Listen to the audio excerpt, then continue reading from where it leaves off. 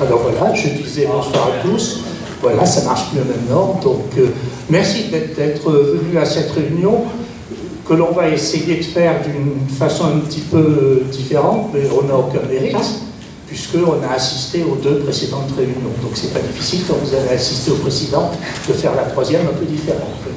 Donc on n'a pas grand, grand mérite là-dessus. Euh, je voudrais saluer, je ne sais pas où il est, Bernard Jobert. Voulais saluer Bernard venu à cette réunion.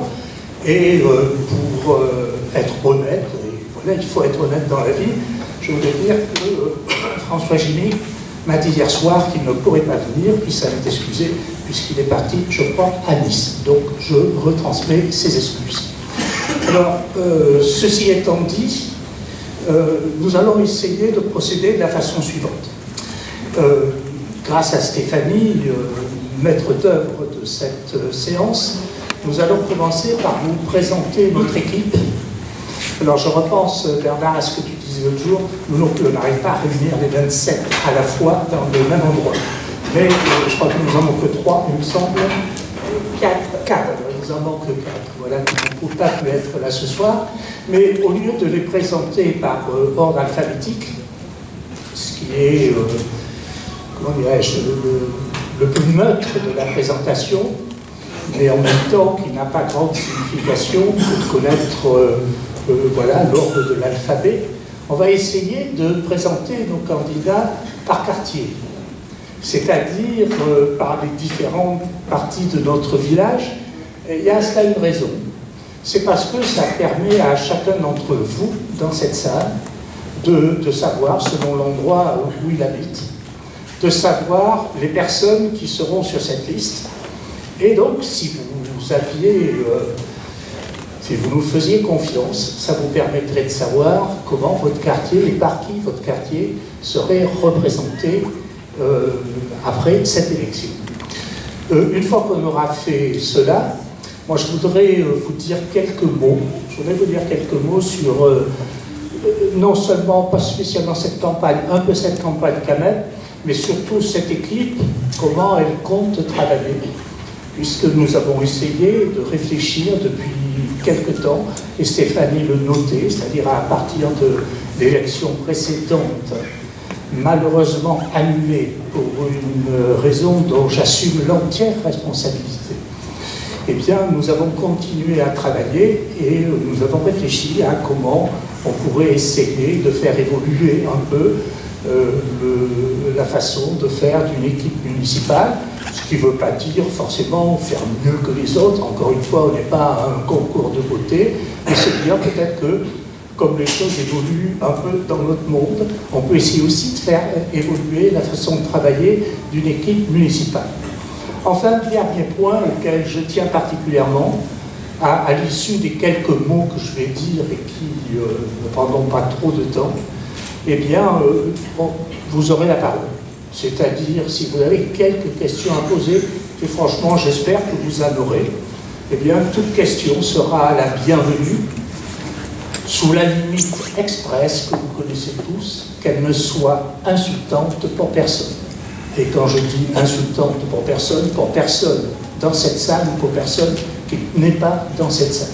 À part ça, vous voyez, c'est une très bonne règle du jeu que j'ai toujours utilisée dans ma vie professionnelle.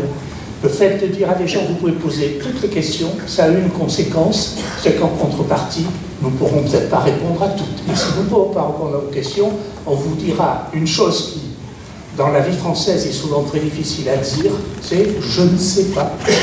Je ne sais pas, on ne sait pas tout. Voilà. On pose une question et on répond, je ne sais pas. Et si on peut répondre, on répond à la question. Donc voilà. Et bien sûr, après, au crime, j'allais ne pas le dire. Ce sera le pot de l'amitié au convivial, c'est ce dont j'ai vu que les expressions variaient. Donc euh, voilà, et alors nous avons même eu, hein, c'est vous dire à quel point euh, vous avez pris la chose à la sérieux, euh, au sérieux, nous avons même eu des demandes sur les types de vins qu'il fallait avoir. Donc on a essayé de, faire face à cette demande pour que tout le monde puisse être satisfait. Et ça été d'autant plus difficile que personnellement, je ne bois pas d'alcool et, que donc euh, j'ai transmis la demande à des personnes dans ma liste qui, de ce point de vue-là, je peux vous l'assurer, sont nettement plus compétentes.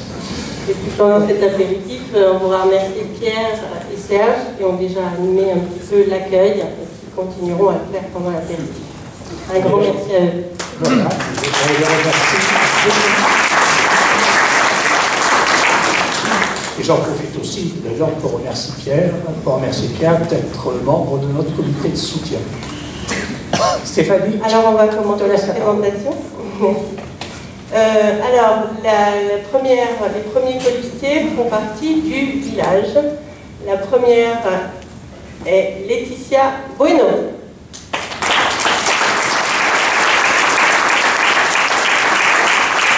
Laetitia, fidèle parmi les, fidèles, que je voudrais particulièrement remercier parce que, euh, vous voyez, quelquefois, je vais dire les choses telles qu'elles sont. Excuse-moi, pas utiliser la langue de bois. Quelquefois, on me dit, oh, mais toi, François, tu es un intellectuel, tu t'occupes pas, etc. Ben, je voulais remercier Laetitia pour tout ce qu'elle m'a appris. Voilà.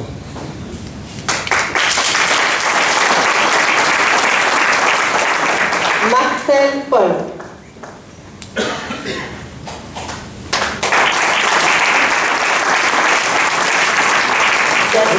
Non, je ne vais pas dire un mot sur la mort, parce que ce Daniel. voilà. Daniel Borda.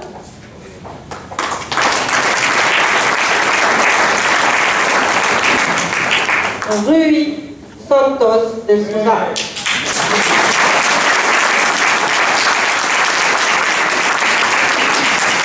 Alors là, que je dise un mot.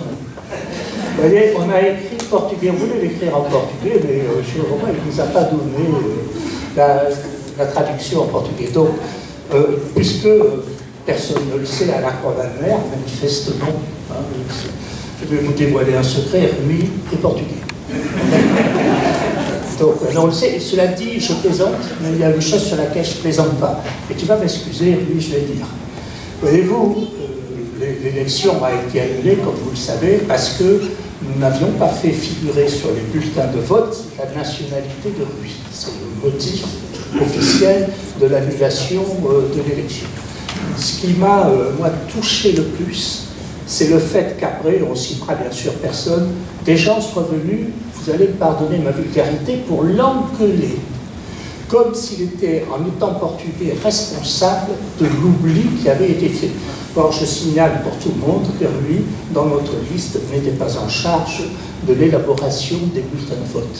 Donc, euh, sauf à me reprocher d'être portugais tout court. Alors là aussi, c'est tout à fait possible. Hein, mais à part ça, euh, voilà, moi je te remercie. Après euh, tout ça, d'être revenu parmi nous. Et c'est en plus un, plaisir de t'avoir, je te le. Et c'est courageux. Merci, oui. Beauvoir.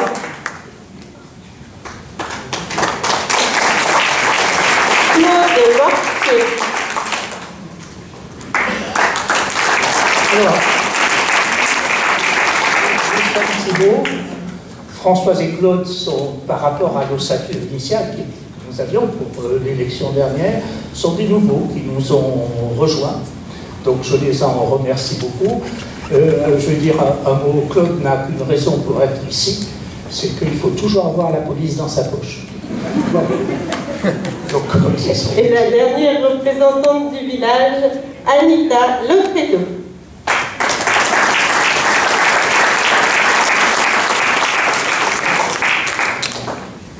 Voilà, je vous remercie. On va maintenant passer au deuxième secteur qui sera le secteur ouest, nord-barbigois avec, pour commencer, Patrice.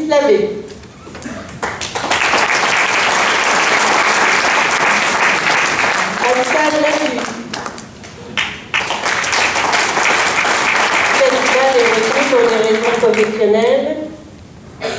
Christian Marmin, ça fait partie des retraités qui n'arrêtent pas. Rocco Erario est en formation, enfin, aussi en, en absence professionnelle. Donc, euh, ce sera, voilà, ça s'arrête là du coup pour le, secteur ouest nord de Barbigois. Je ne sais pas s'il faut y voir un signe que parmi les quatre qui nous manquent, il y en a trois qui viennent du, euh, secteur ouest. C'est aussi une activité, je ne sais pas. voilà. Maintenant, je suis de Maëlysée Val-de-Mer avec Pascaline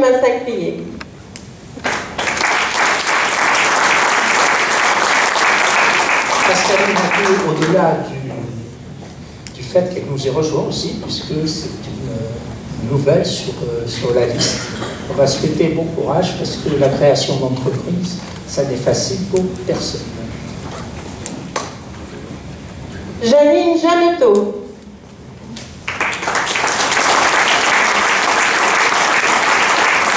Jean-Paul Perrin est absent pour des raisons professionnelles.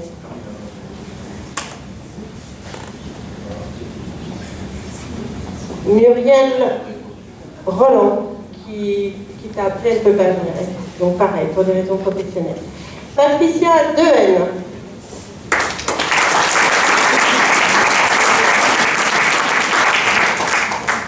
Et Jean Corion dit Jeannot.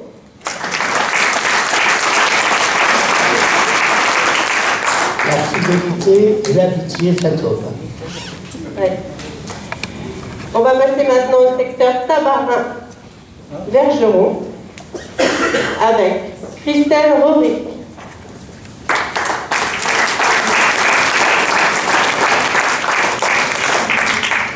André Rénal.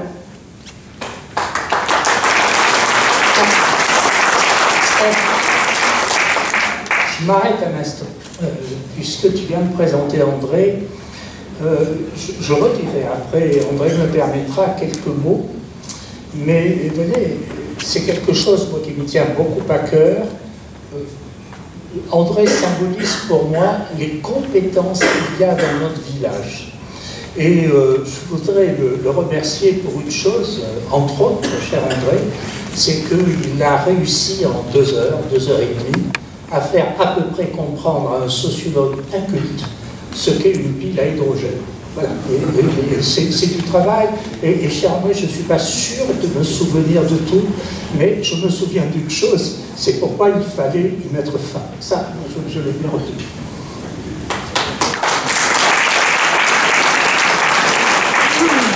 Carole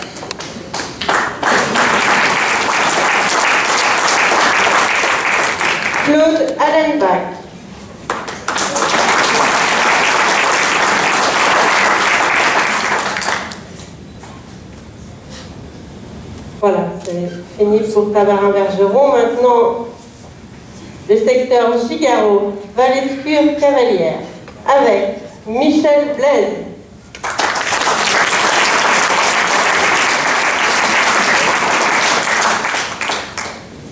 Pascal Barbier.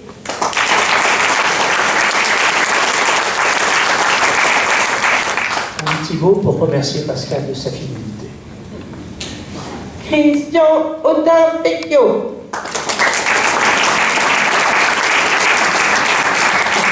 Je dis peut-être un petit mot sur euh, Christian. Quand je parle de Christian, j'ai l'habitude de dire Christian, c'est l'art. L'art parce qu'il est architecte et l'art parce qu'il est artiste. Voilà. Donc ça définit très bien, me semble-t-il.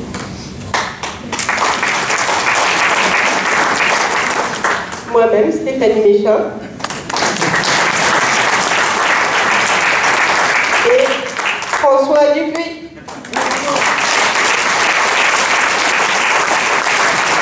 Voilà, on a terminé la, la présentation de la liste et nous te laissons la parole. Merci, merci Stéphanie.